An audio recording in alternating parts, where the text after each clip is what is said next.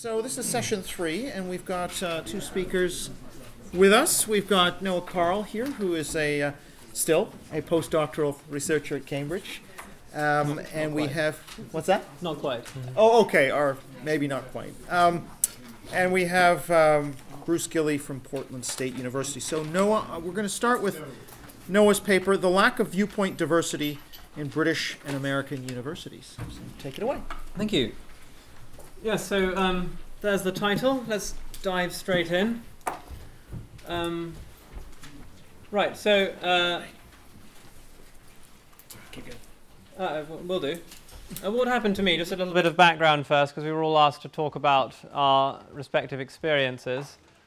Uh, an open letter was signed against me, signed by 586 uh, academics, which wasn't very complimentary it, it, it, acu- it, accused me of racist pseudoscience, uh, which is not a label I generally like to identify my work with.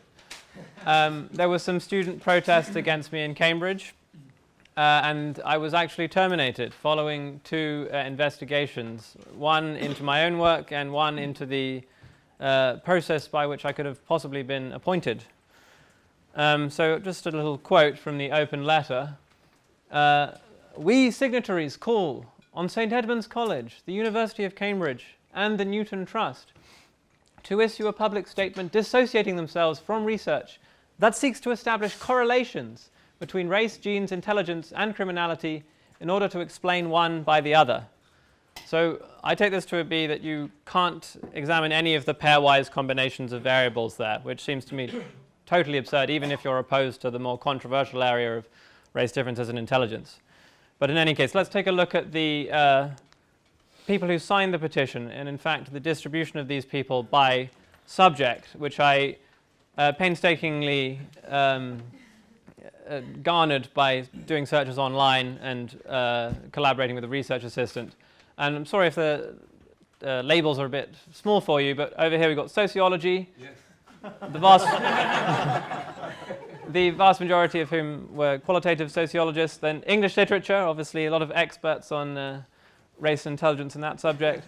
History, education, geography, anthropology, politics. Uh, I can just use this, can't I? Uh, language, media studies, philosophy, biomedical sciences, so a few. Economics, creative arts, physical sciences, law, mathematics, engineering, and psychology. So you might, you might have expected psychologists would have the most to say about intelligence, but um, I'm collecting more data on the signatories, uh, hopefully for a forthcoming article, so stay tuned. Now to the presentation itself. What are these stylized facts concerning the phenomena of academics' political views? Well, I'd say they're the following. As we all know, left wing and socially progressive views are overrepresented, and right wing and uh, socially conservative views are underrepresented. Socially conservative views are particularly underrepresented.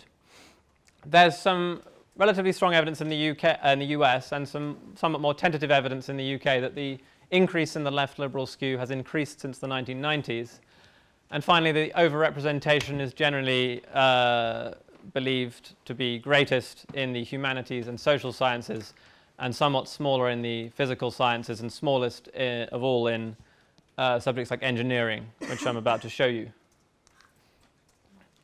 So if we take American academics by subject and consider data from voter registration databases uh, in 2017 that were compiled by uh, Mitchell Langbert in a recent paper. So if you take engineering, there's only 1.6 Democrats per Republican in that discipline, so a relatively small skew. Economics, which is known to be a somewhat more uh, or somewhat less left skewed discipline, 5.5. Physics, 6.2. History, 17.4. Sociology, 43.8. Anthropology, 133.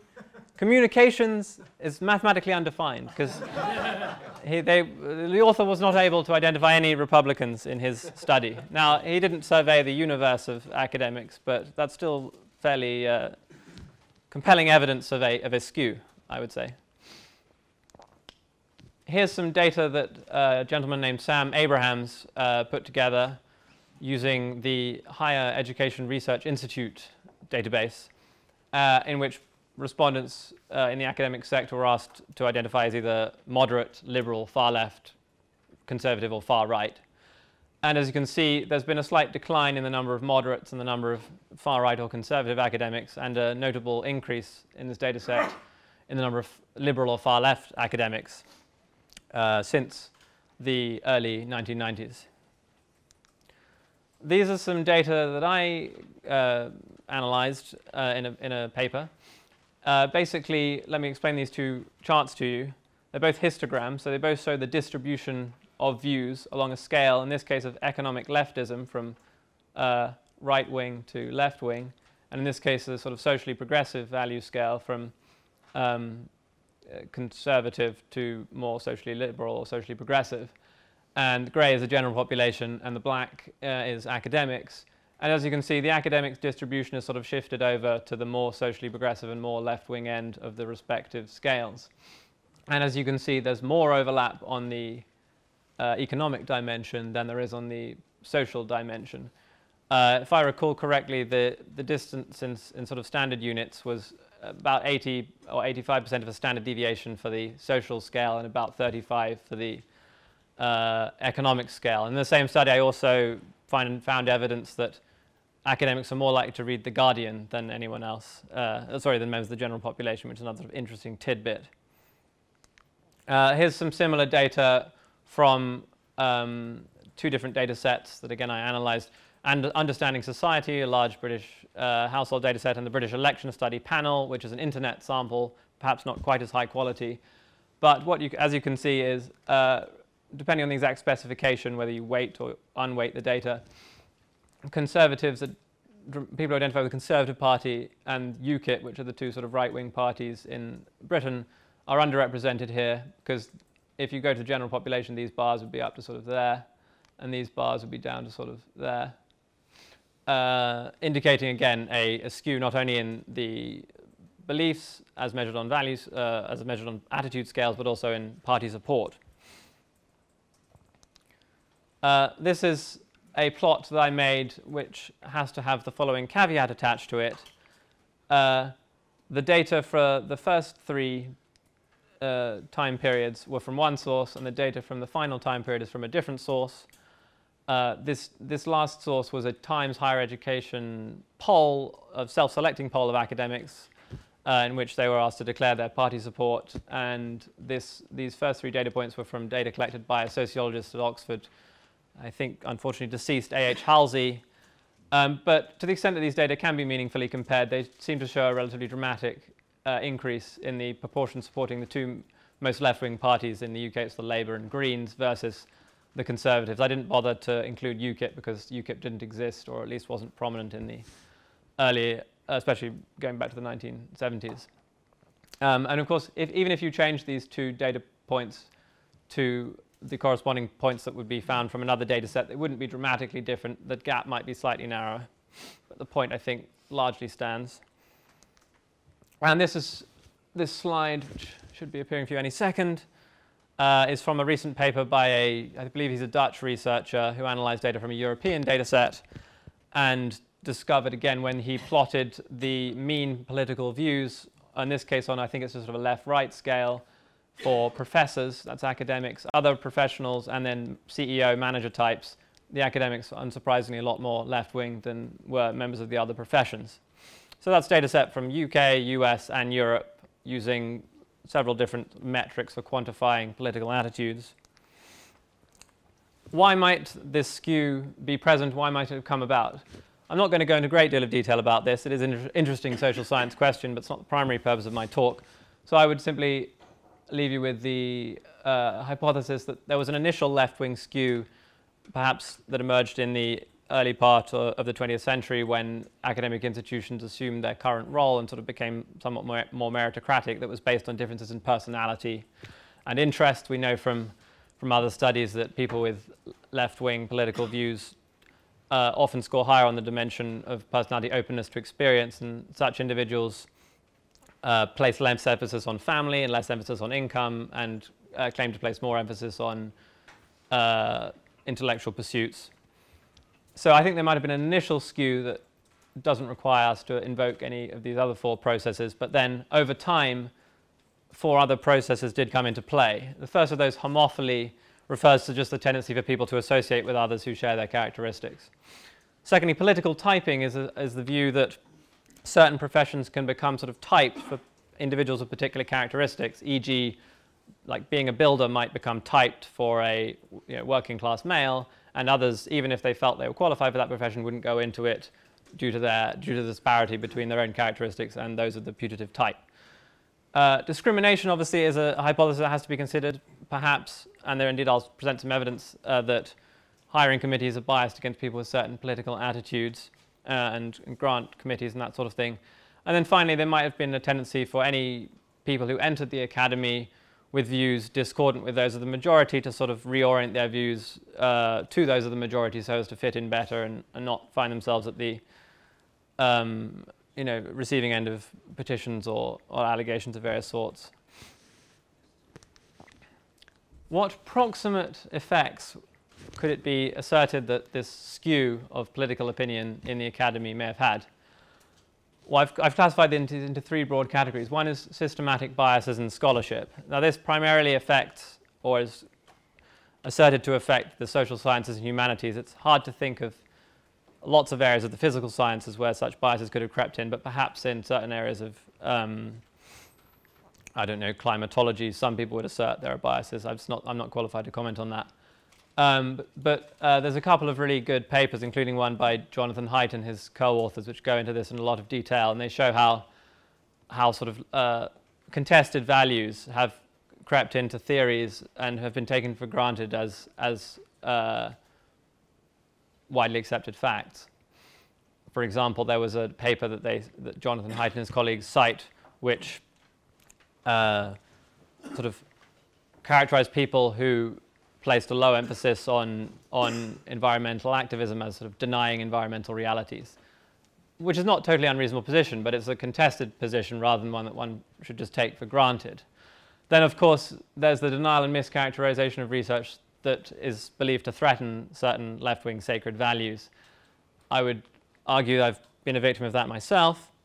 Many other people, not only in fields, controversial fields like IQ research, but also other fields um, that who, some of whose content appear to threaten left-wing values have as well. Then witch, witch hunts of the dissident scholars. We all, we all, many of us are familiar with those denouncements and petitions and protests. And then also politically biased hiring uh, caused by an atmosphere of groupthink where received wisdom goes unquestioned and sort of certain sacred values uh, are sort of taken as sacrosanct. And what, so, what sort of areas of research are the ones that appear to present the greatest threat to the left wing, sorry, the, the sacred values that prevail amongst those who hold the majority opinion? Well, I think it's generally areas where there is perceived to be a, a victim group of some sort and an oppressor group of some sort. that would be sort of sex differences research, race differences research, colonial history, immigration and Islam, stereotype research, in research into transsexuality, and then uh, research into the Israel-Palestine conflict. And which of those two perspectives proves more controversial seems to depend on the department. Um, so now I just want to talk about a few interesting findings from the literature uh, that help us to understand how these skews within particular departments, a particular field, might have materially affected the disciplines. Uh, as I already suggested, I, I, want to look at that question in more detail now. So here's a paper, just a quite simple paper by, I think it was uh, Buss and von Hippel, 2017. They had a, um, they surveyed their colleagues in the field of psychology and they asked them to rate themselves uh, from, lib from uh, liberal at this end to, I believe, conservative at that end. Uh, it may have been a multi uh, scale or it may have just been a single item scale, I can't remember. And then they asked them whether they agreed with certain canonical findings from evolutionary psychology. Partic I think they were pertaining to things like the roles of the sexes in evolution, which, are, which uh, ideas which are sometimes quite controversial. And here they found a positive correlation between the uh, self-professed ideology of the respondent and his or her willingness to accept those ca so-called canonical findings. That doesn't mean that the conservatives are right or that the liberals are right. It's just interesting that there was a sort of clear, albeit um, not imperfect relationship between ideology and willingness to accept certain putative scientific facts. This is a really fascinating study. I think it's unpublished as of yet by uh, Bo Winegard and his colleagues. And what they did is they took a sample of, they weren't academics, I think they were just members of the general public obtained via Mechanical Turk or a platform like that. And they had three different uh, experiments one concerning leadership, one concerning violence, and one concerning intelligence. And within each of these experiments, they had three uh, groups of respondents conservatives, again, moderates, and liberals. And within each of the experiments, they gave each of the groups um, vignettes to read concerning uh, a hypothetical person or something and his or her characteristics. And so, in the, in the case of this first experiment, the hypothetical person was um, a, a, potential leader, a prospective leader of some sort. And uh, the treatment was whether you got the passage saying that the person was, uh, that the man was a better leader, or whether you got a passage saying that the woman was a better leader. So it was designed to assess your sort of sensitivity to gender controversy. And what you can see is that among conservatives and moderates, there wasn't much difference in the uh, propensity to censor this passage. So the scale is some measure of willingness to censor.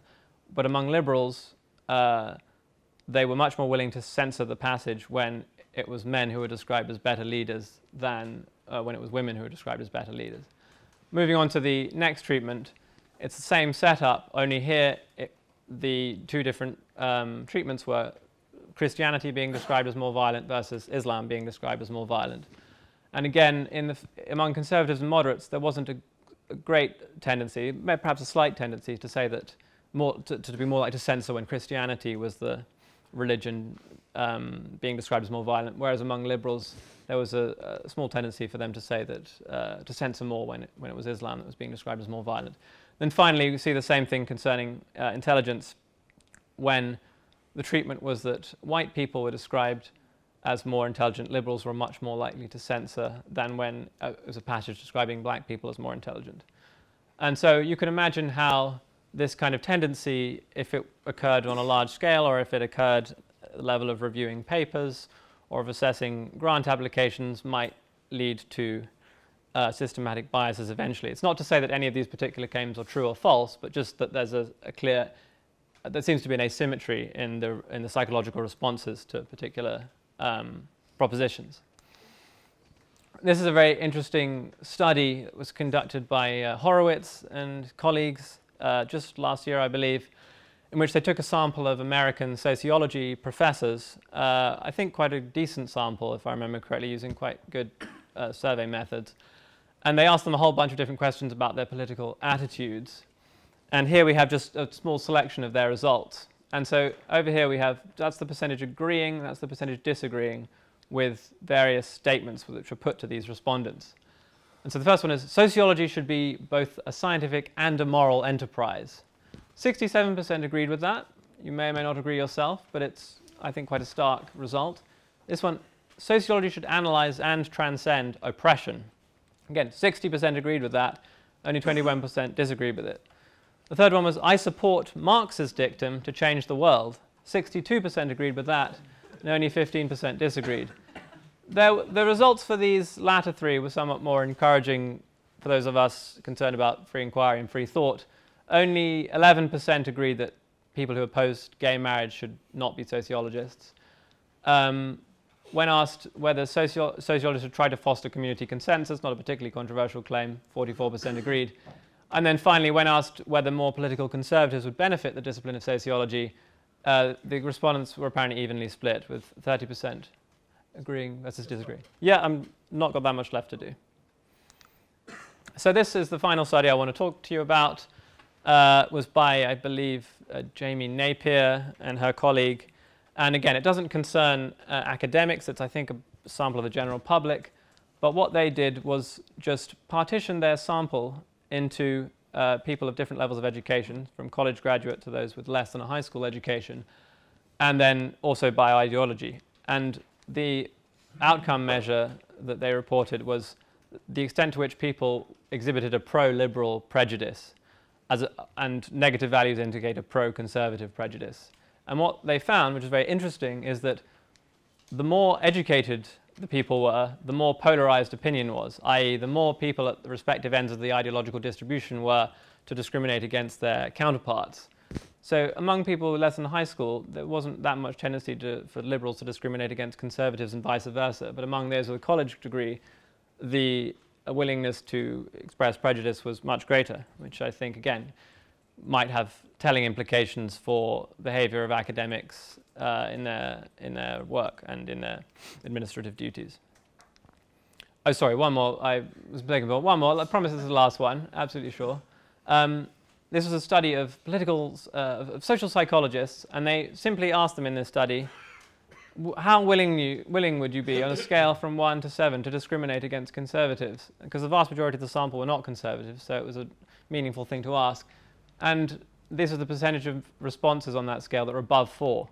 And so 38% were willing to discriminate openly uh, in a hiring decision. 24% in a grant review, 19% on a paper review, and 14% on a symposium invitation. So pretty uh, interesting findings there. Um, before concluding, one final sort of empirical slide. The evidence I came across on academics and free speech paints a somewhat encouraging picture. The, only, the most recent survey I could find was again by Sam Abrahams, in which he asked respondents um, to choose between two statements. Do you prefer an open learning environment, students exposed to all types of speech, or a positive learning environment where that prohibits certain types of speech. And 70% of academics chose the first, and 30% chose the, the, the, second, which suggests to me that there's a sort of 80-20 rule, where there's a radical fringe of academics in, concentrated in certain disciplines who are causing most of the problems. Some important contextual factors that have already been mentioned by other speakers are the consumerization, marketization of education, the growth of university administration, and also I think we have to consider the rising political polarization in society at large. Possible solutions that I've listed here on my, on my final slide are to encourage adversarial collaborations between scholars from different political backgrounds, to emphasize the incompatibility of the sacred value of truth and the sacred value of social justice, perhaps through the use of pre-commitment devices like sort of statements on the website, uh, to form an academic NATO, that was Niall Ferguson's idea, and to create competitors such as online universities, I think that's Jordan Peterson's idea. So uh, thank you very much. Uh, this, one is just this one is just worth reading out. It's a, a, a, young man I found on Facebook who came to Oxford. He said, "I came to Oxford to learn how to make policies to help poor kids stay healthy. My professor is trying to convince me there's no such thing as objective reality.